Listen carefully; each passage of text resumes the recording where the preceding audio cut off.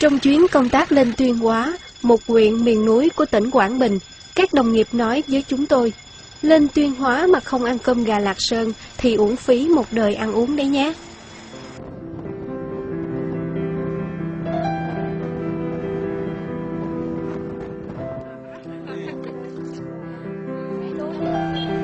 Ba cô gái tuổi đời chỉ độ 25-26 tuổi, thoăn thoắt mở thúng cơm.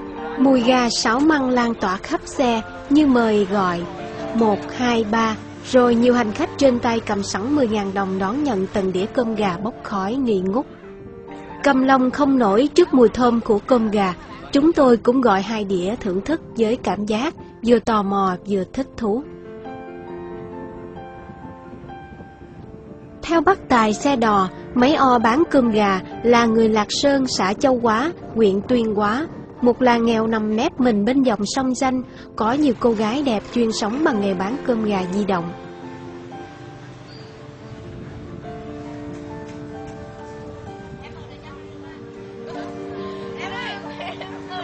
Họ buôn có hội, bán có phường. Mỗi dùng thường có từ 3 đến 5 cô đi chung. Xa như Quỳ Đạt, Đồng Hới thì ở lại cả tuần. Gần thì sáng đi chiều tối về. Mỗi thúng cơm thường bán được từ 20 đến 30 đĩa. Mỗi đĩa từ 10.000 đến 15.000 đồng, tùy khách gọi thêm cơm hay thêm vài miếng gà. Lê Thị Hiền là một trong ba cô gái bán cơm gà trên xe. Nhà Hiền có hai mẹ con đều theo nghề bán cơm gà. Hiền năm nay mới 25 tuổi, nhưng đã theo nghề gần 10 năm.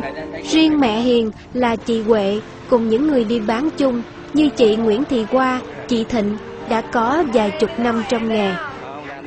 Mỗi thúng cơm, nếu bán hết thì cũng kiếm được vài ba chục ngàn đồng sau khi đã trừ hết mọi chi phí. Ngày nào may mắn có cơ quan ban ngành hội họp đặt cơm thì bán được vài thúng. Chị qua vừa bán cơm cho khách vừa tâm sự. Những hôm trời mưa, khách không ra mua cơm được thì họ lại đội thúng đi vào tận các làng thôn cửa ngõ các cơ quan ban ngành. Có hôm, ế ẩm, chỉ bán được chục đĩa, còn lại phải mang về nhà ăn. Ăn không hết thì lại đổ đi. Đổ đi cả một đống tiền đau xót lắm, nhưng không thể để bán ngày hôm sau được, vì như thế là lừa dối và sẽ mất khách.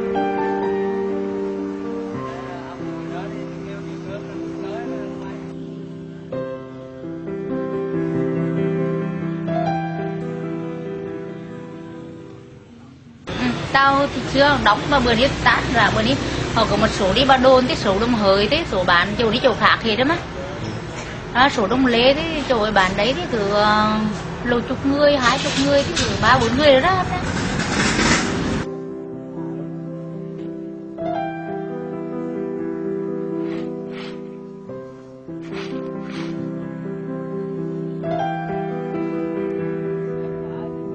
Trên chuyến đò ngang qua con sông Danh, vào làng Lạc Sơn, Lão Tư cho chúng tôi biết, nghề bán cơm gà di động của làng xuất hiện cùng với những chuyến tàu chợ đầu tiên qua ga Lạc Sơn.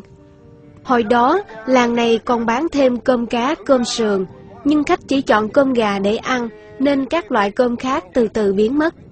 Theo Lão Tư, gà ở Lạc Sơn ngon hơn các loại gà khác là nhờ địa thế của làng. Sau lưng là dãy núi đá vôi khô cằn, Trước mặt là con sông danh. Gà ở đây tìm thức ăn trên núi, uống nước sông đầu nguồn, thịt chắc, xương giòn, lại nấu với măng tre rừng nên có vị riêng, không lẫn vào đâu được. Giờ đây, khắp các làng quê, từ thành phố Đồng Hới đến các thị tứ Phồn Dinh như Ba Đồn, Minh Quá, Quỳ Đạt, cơm gà Lạc Sơn đã là thương hiệu số 1 trong các loại cơm gà ở Quảng Bình, bởi ngon mà giá lại vừa rẻ. Thậm chí thương hiệu cơm gà Lạc Sơn đã bị nhiều quán cơm gà ở Ba Đồn, Đồng Hới ăn theo.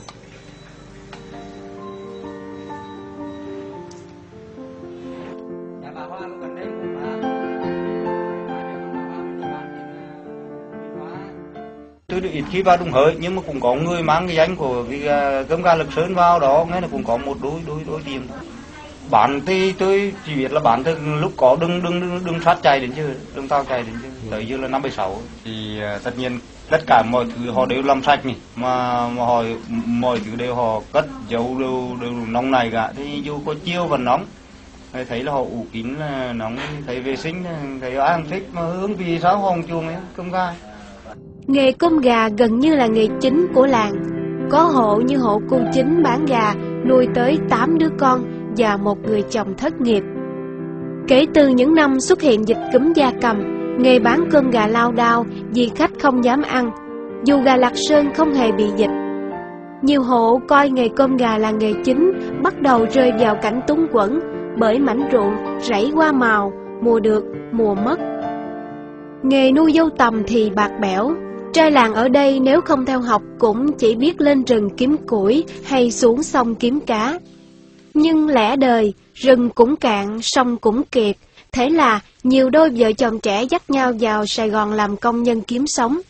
Những năm đó, làng Lạc Sơn vắng bóng gái đẹp, vì họ cũng vào hết Sài Gòn tìm kế sinh nhai, chờ khi hết dịch lại trở về với nghề bán cơm gà. Được non một năm, Người làng lại thấy các cô gái lục đục kéo nhau về làng trở lại nghề bán cơm gà. Chị Nguyễn Thị Ánh cho hay, hai vợ chồng vào làm công nhân may tại Gò Dấp được một năm, nhưng lương thấp, sống cơ cực, lại không tích lũy được đồng nào. Nhiều người khác cũng không khá hơn, nên đành quay về làng tiếp tục cái nghề truyền thống bán cơm gà của làng. Thưởng thức xong bữa cơm gà xảo mang rừng mà gia đình lão tư mời, Chúng tôi rời Lạc Sơn khi mặt trời đã khuất bóng sau rặng tre làng. Cũng là lúc hàng chục cô gái vừa trở về sau một ngày vất vả cùng thúng cơm gà.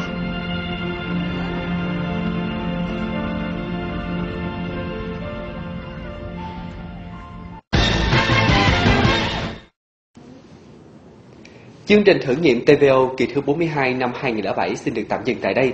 Mọi thư từ góp ý vui lòng liên lạc qua địa chỉ phòng truyền hình báo tuổi trẻ số 60A đường Hoàng Văn Thụ, phường 9, quận Phú Nhuận, thành phố Hồ Chí Minh hoặc qua email tvoamoc tuổi trẻ.com.vn. Thân chào tạm biệt và hẹn gặp lại quý vị và các bạn.